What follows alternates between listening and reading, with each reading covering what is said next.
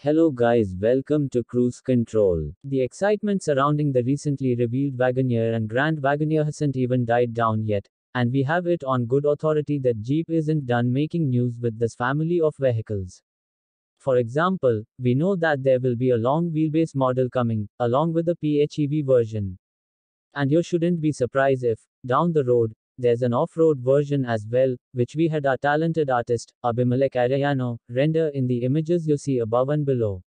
While it might not wear a trail-rated badge due to its size, the Wagoneer is still a capable off-roader from the factory, and a Trailhawk version would be more so. On a regular Wagoneer, you'll be able to get adjustable air suspension, 18-inch wheels, skid plates, tow hooks, and a capable traction management system. The market for off-road versions of full-size SUVs is evidenced by the Ford Expedition FX4, Chevy Colorado Z71, GMC Yukon AT4, Toyota Sequoia TRD Pro, and even the full-size Range Rover.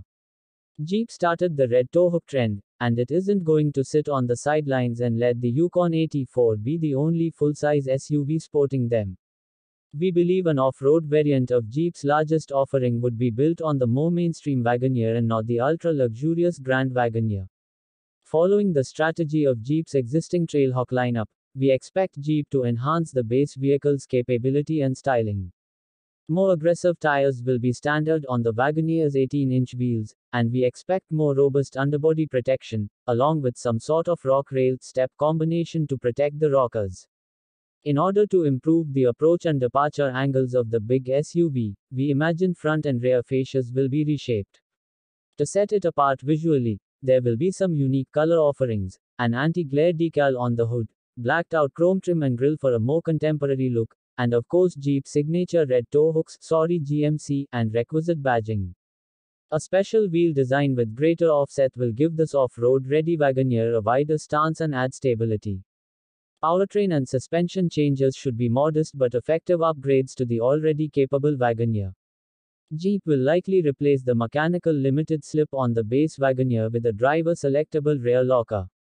Expect some retuning of the adaptive suspension for more control off-road. A new electronic stability strategy would allow for more driver engagement, while a bank of auxiliary upfitter switches, or something similar nested in the Uconnect system, will easily allow owners to add electrical accessories. Since the Wagoneer is not technically badged as a Jeep, we don't know if it will share the Trailhawk name with its lesser siblings or get its own name exclusive to the Wagoneer line. If that ends up being the case, you could be getting a first glimpse of the 2023 Wagoneer Trail Wagon.